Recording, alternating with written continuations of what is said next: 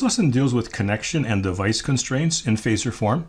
You can find these notes in the course ebook in chapter 4, starting on page 15. Let me first state Kirchhoff's voltage law for phasors. The algebraic vector sum of the voltage phasor rises equals the algebraic vector sum of the voltage phasor drops around any closed path. In other words, if these were the rise in voltages, say V1 through V sub j, it would equal the drops, say K through N. Now why is this true? Well, if we consider the same problem in the time domain, we have the summation of the rises in voltage equals the sum of the drops in voltage. But you could write this as the real part of V1 times e to the j phi1 times e to the j omega t. Likewise for V2, e to the j phi2 times e to the j omega t all the way through j. Then on the right hand side of the equation, same thing, we would have the real part of v sub k times e to the j phi of k times e to the j omega t all the way through n. Now we showed earlier on page 11 at the bottom that the sum of the real parts equals the real part of the sum. But here we've got the sum of the real parts. We could also do that as the real part of summing up the phasor voltages times the angular velocity on both sides of the equation. Well, if these are equal, then this term here has to equal this term. But what is this? This is our definition of the phasor V1, V2 through V sub j, and that would equal the phasor V sub k through V sub n. Next is the phasor form of Kirchhoff's current law. Let me read it to you. The algebraic vector sum of the current phasors entering a node equals the algebraic vector sum of the current phasors leaving the same node. Now why is this true? Well, the proof is identical to the one for Kirchhoff's voltage law, except we're going to replace V by I. Well, let's take a look at the phasor form of Ohm's law. Let's go back to our definition of a resistance in the time domain.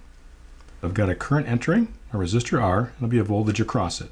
The voltage is equal to R times the current going through it. Suppose that that current is I sub A times the cosine omega t plus V, sort of our default expression for a current phasor. Let's bring the R inside, and we can express the cosine function as the real part of this scalar times e to the j phi times e to the j omega t. The thing that multiplies e to the j omega t is our phasor. In this case, that'd be our voltage phasor. We could define our voltage phasor as R times I sub A times e to the j phi. Or could write that simply as r times I sub a at angle phi. But this is also our definition of a current phasor. So we could say then that the phasor voltage is equal to r times the phasor current. So this would be our frequency domain version of Ohm's law. You can also write it as a schematic representation with a resistor R, same as it is in the time domain, but now with a phasor voltage and a phasor current. The phase angle of the voltage across the resistance and the current through the resistance are the same. If we were to sketch a phasor diagram with a real axis and an imaginary axis, and we had a value of I, say has a magnitude of this length and an angle of phi, the voltage would just be multiplying that times a scalar r. It would be longer than that if r was greater than 1. We sometimes refer to this as being in phase. And what that means is that v of t and i of t both have their maximums and minimums at the same instant in time. Let's take a look at an inductance. Suppose we have a current again, I sub a cosine omega t plus phi in the time domain. If that flows through an inductance, we'll create a voltage V of t. We saw in our last chapter that V of t is equal to L di dt. Let's take a derivative of this and multiply it by L. So here's L. The derivative of cosine is minus the sine of the same argument. And then take the derivative of what's in parentheses here with respect to time, which is going to be equal to omega plus 0.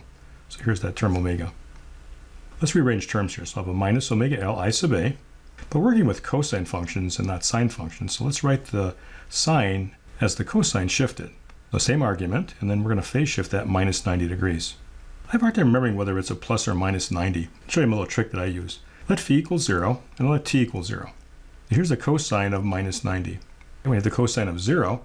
You have the peak at the value of t equals 0, but now we're going to shift that 90 degrees to the right. It's a quarter cycle. Imagine moving a cosine over a quarter of a cycle. What you've got is a sine wave. Or you could just memorize that. We can write the cosine as the real part, minus omega L. And then we've got I sub A. And then we can write this as e to the j of this whole quantity. Now let's just write this as a product of terms here. So we have e to the j phi, e to the minus j 90, and then e to the j omega t.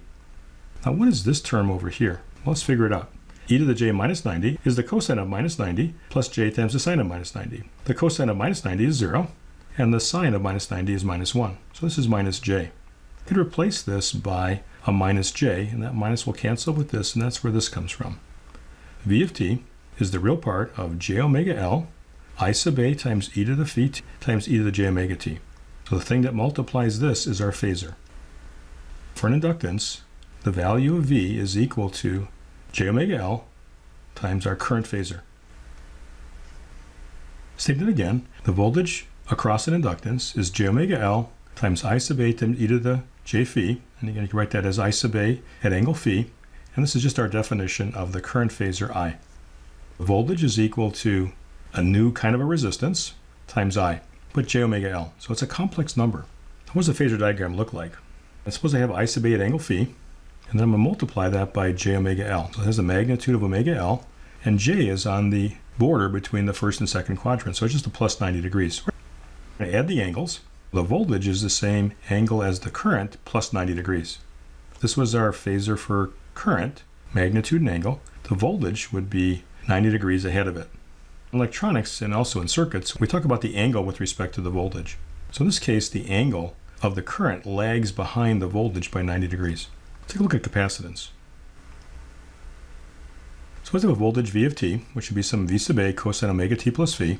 I put that across a capacitor. A current's going to flow. It's going to be equal to C dV dt. Let's differentiate our voltage and then multiply it by C.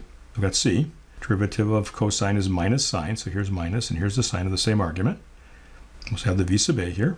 And then the derivative of what's inside the parentheses with respect to t is just omega. Minus omega times c times v sub a, and then the cosine is the sine shifted by 90 degrees. Cosine omega t plus phi, then minus 90 degrees. And you could write this as the real part of e to the j of this entire argument. You could write this as the product of three terms, e to the j phi, e to the minus j90, and e to the j omega t. And again, on the last page, we showed that this was equal to minus j. And the minuses and the minuses cancel. I get j omega c times v sub a times e to the j phi times e to the j omega t. So the thing that multiplies e to the j omega t is our phasor. So this is going to be our phasor current I. I is equal to j omega c times v sub a times e to the j phi, which you could write as v sub a at angle phi. But this is our definition of the phasor voltage V. And I'm going to just divide by j omega c. V is equal to something times I. This would be our new Ohm's law relationship for a capacitor. The voltage across a capacitance is equal to the current times the expression 1 over j omega c. Now, what would the phasor diagram look like for this? Suppose I have a voltage V sub a at angle phi. I'm going to multiply that back up here by j omega c. The magnitude is omega c, and the angle is just equal to 90 degrees between the first and second quadrant. I'm going to add these two angles when we multiply that. I get 90 plus phi. If I were to sketch the voltage with some length at an angle of phi, the current would have the same angle plus 90 degrees, and then multiplied by this scalar and make the vector longer or shorter. For capacitance, current leads the voltage by 90 degrees. Let's take the idea of a frequency domain Ohm's law and generalize it. For a resistance, we had V is equal to R times I. Let's define the following. Let's say that V is equal to Z times I, where V is a phasor voltage and I is a phasor current and we'll call Z impedance. Since this can be anything, can be a resistor, a capacitor, an inductor, or even a combination of series and parallel combinations, I'm just going to draw this as a rectangular box and label the value of Z, and the units here would have to be ohms. For a resistance, Z is equal to R. For an inductance, it's equal to J omega L, as we've shown previously. And then for a capacitance, it's 1 over J omega C. Now, dealing with reciprocal sometimes can be tedious, and so let's do the following. Let's multiply numerator and denominator by j, so I have j over j squared, but j squared is minus 1. This becomes minus j over omega c. Just an observation, 1 over j is minus j. Now we also had that i is equal to g times v. So let's say that i is equal to y times v, where y is called admittance. We would have units of 1 over ohms or mhos or Siemens. We could use a rectangular box to show the value of y and the unit that goes along with it. Voltage across the element, current going in the plus terminal, coming out the minus terminal. For resistance, Y is equal to 1 over R, or just G. For an inductance, it'd be 1 over J omega L. And 1 over J is equal to minus J, so it'd be minus J over omega L. And lastly, for a capacitance, the admittance would be J omega C. And this is connection and device constraints in phasor form.